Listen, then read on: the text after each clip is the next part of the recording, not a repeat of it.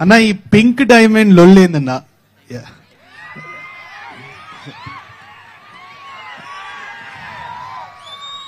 Uh, yeah, can I repeat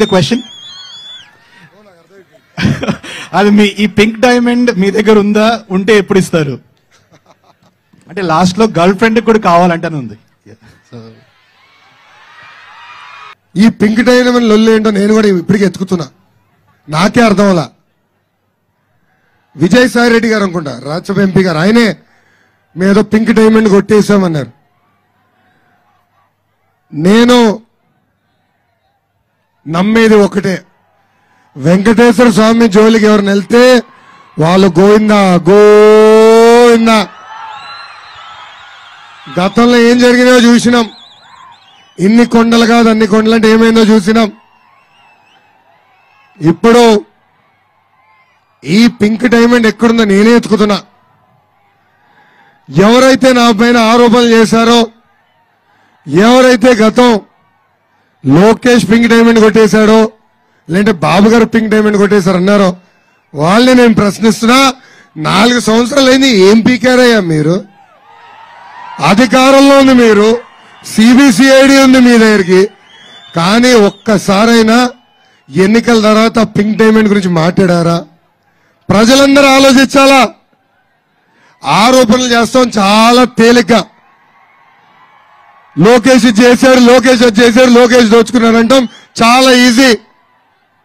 చిత్తశుద్ధితో నేను పనిచేసా కనుక నేను ఏనాడు తప్పు చేయలేదు కనుక ఈరోజు దమ్ము ధైర్యంతో తిరుపతి నడి వీధిలో నేను పాదయాత్ర చేయగలుగుతున్నా. అదే గెలిచిన వ్యక్తి పరదాలు కట్టుకుని నేను నడుస్తున్నాడండి ఎవరెక్కడ టొమాటో వేస్తారో ఎవరెక్కడ గుడ్డులు వేస్తారన్న భయంతో వాళ్ళు వెళ్తున్నారు.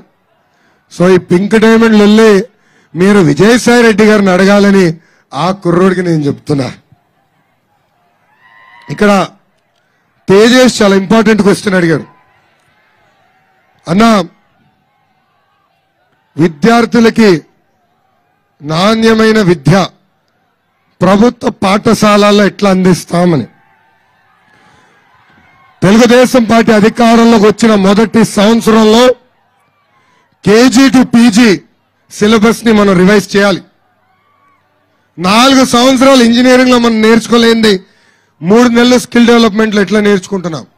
అది మారాలి. ఆ స్కిల్ డెవలప్మెంట్ ఫుల్ స్టాప్ పెట్టాలి. మెరుగైన syllabus on the job training మీలాంటి యువతి యువకులు ఎవరైతే ఇంజనీరింగ్ ఇతర కోర్సెస్ ఉన్నారో పెద్ద ఎత్తున పరిశ్రమలు తీసుకొచ్చి మీకు ఇంటర్న్షిప్స్ కల్పిస్తేనే మీకు ఎలాంటి ఇబ్బంది ఉండదు. మీరు గ్రాడ్యుయేట్ అయిన వెంటనే జాబ్ రెడీ యూత్గా ఉంటారు. అందుకే ఇది ఏదైతే క్వాలిటీ ఎడ్యుకేషన్ తీసుకురావాలన్నారో హండ్రెడ్ పర్సెంట్ మొదటి సంవత్సరంలోనే మేము సిలబస్ని మార్చి పటిష్టంగా చేస్తామని కూడా తెలుపుతున్నాం.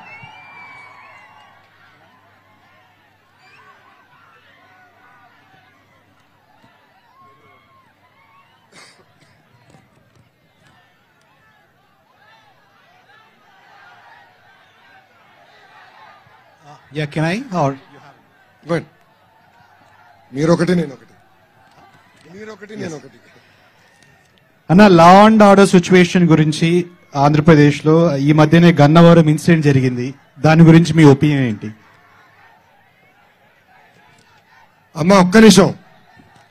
జేఏసీ సోదరుల విజ్ఞప్తి అమ్మా ప్లీజ్. ఒక రెండు నిమిషాలు ఓపిక పట్టాలి ప్లీజ్. తమ్ముడు ప్లీజ్ అమ్మా ప్లీజ్. లా అండ్ ఆర్డర్ బాగుంటేనే పెట్టుబడులు వస్తాయి. లా అండ్ ఆర్డర్ బాగుంటేనే మీలాంటి యువతి యువకులకి ఉద్యోగాలు వస్తాయి. ఈ రోజు మీరు చూస్తే బీహార్లో పెట్టుబడులు వస్తున్నాయి. ఏకంగా ఉత్తరప్రదేశ్లో కూడా పెట్టుబడులు వస్తున్నాయి. ఇంకా ఆంధ్ర రాష్ట్రం మనం వెనుకబడుతున్నాం. రాజకీయ కక్ష సాధింపన పేరుతో ప్రతిపక్ష పార్టీల పైన దాడి చేస్తున్నారు. ఆ దాడి పైన చూపించిన శ్రద్ధ ఆంధ్ర రాష్ట్రానికి ఒక్క పరిశ్రమ తీసుకొచ్చినాక చూపించట్లేదు. ఎవరు నష్టపోతారు? మీలాంటి యువతి యువకులు నష్టపోతారు. మీలాంటి వాళ్ళకి ఉద్యోగాలు లేక ఇబ్బంది పడతారు.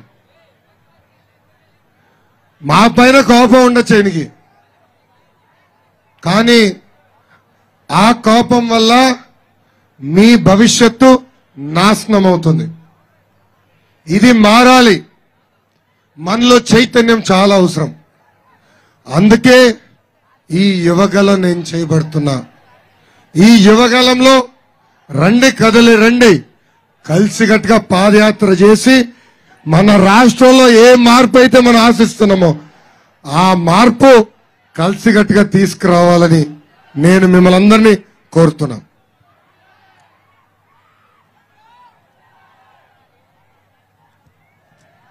ఓ, నా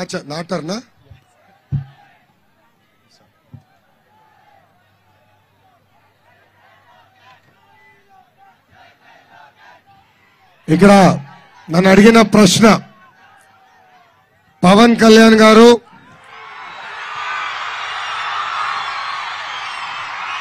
అదేవిధంగా